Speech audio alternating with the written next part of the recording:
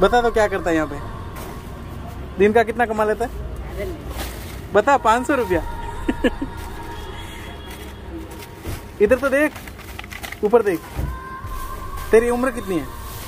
तेरह साल। तेरह साल तो एक मिनट, ऊपर तो देख ले, दो मिनट बात करता हूँ तेरे से। ऊपर तो देख ले। पढ़ाई वढ़ाई क्यों नहीं करते? क्यों?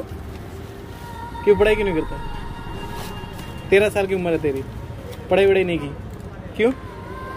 और ये पूरा दिन गाड़ी चलाता है क्या ये? और कमाता कितना है? पाँच सौ रुपये दिन का पाँच सौ रुपये कमा लेता है।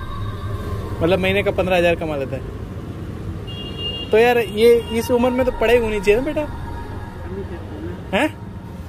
नहीं करते क्यों? क्यों नहीं करते? वजह तो होगी। ये ये गंदगी में ये कितना दिन तू पाँच सौ रुपया कमा लेगा ये बता मुझे। भर जाता है तब। भर जाता है तब। पूरे पूरे दिन में मतलब कितना घंटा काम कर लेता है? जब भर जाएगा तब अच्छा और फिर भरने के बाद में ये क्या कहाँ पे? अच्छा ये वाला। अच्छा तो ये तो सुबह सुबह ही तेरा तो भर गया है। हैं? और भरेगा ना अभी और भरेगा। और फिर ये कहाँ देगा तू? ठेकेदार के पास। बता तो ज़ोर से बोल थोड़ा। ठेकेदार के पास। ठेकेदार के पास। ठेकेदार तुम्हें पैसा देगा। इतने सारे का खाली पाँच सौ रुपया।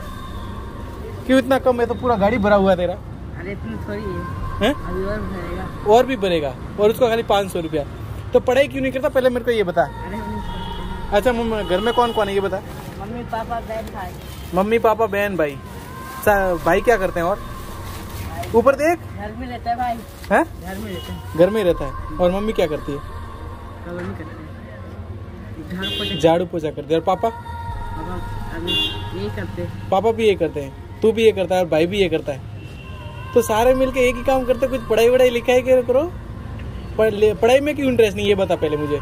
तेरी उम्र कितना क्यूट लगता है तू और पढ़ाई वढ़ाई क्यों नहीं करता ये बता। हैं? पढ़ाई क्यों नहीं करता? चल मैं तेरा नाम लिखवा दूँ कहीं? स्कूल में नाम लिखवा दूँ? इधर देख।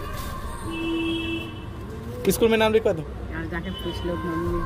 मम्मी से पूछना पड़ेगा।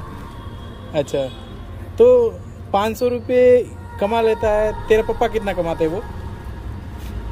वो भी इतने कमा लेते हैं। हाँ। तो तेरे पापा ऐसा बोलते नहीं कि ये पढ़ाई वढ़ाई करो ये काम मत करो? पापा नहीं बोलते ऐसा। अरे नहीं नाम ही नहीं लिखाते ना। है? नाम नहीं लिखाते। नाम नहीं लिखवाते पापा नहीं लिखवाते। क्यों? तो उनको बोलना चाहिए कि मेरे को पढ़ना है। अरे यही काम करवा यही काम करवाते हैं। यार ये तो बहुत गलत बात है अभी तेरी उम्र क्या है? कितना तेरह साल का है ना तू? कितना पढ़ा स्कूल स्कूल देखा ही नहीं तूने?